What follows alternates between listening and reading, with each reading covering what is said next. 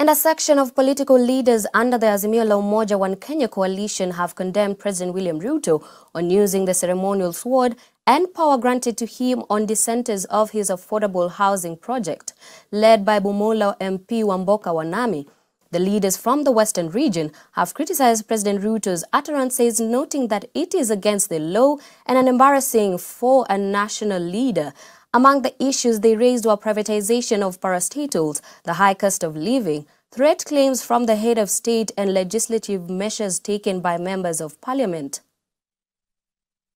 Rais mzima akiwa Kisii anasema mambo ya koti yeye ametupilia mbali.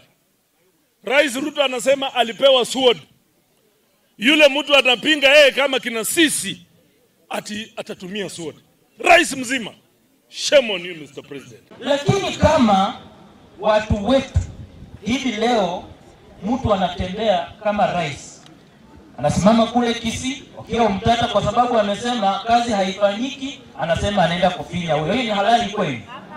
Uongozi sio kusimama mbele ya watu ukipiga kifua. Uongozi sio kusimama mbele ya watu ukianza kutoa vitisho za maisha mbele ya, kwa, kwa, kwa maisha ya watu fulani. Hawa watu pia wako na mama. Tulipopiga kura tulijua tutapata uwezo wa kujimudu kama wananchi wa Kenya, lakini la kushangaza ni kwamba maisha imekuwa ghali na wananchi kote nchini Kenya wanaumia. Wasinyamaze.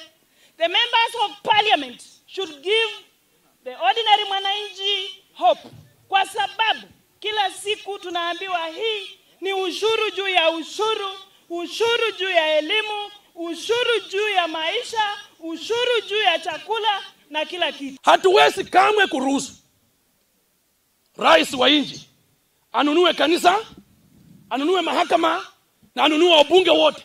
Katiba haisemi hivyo, haisemi hivyo.